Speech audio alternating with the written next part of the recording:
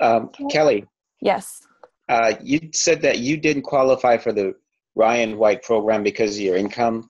No. What steps did, what steps did you take to find to find the services that you needed? I mean,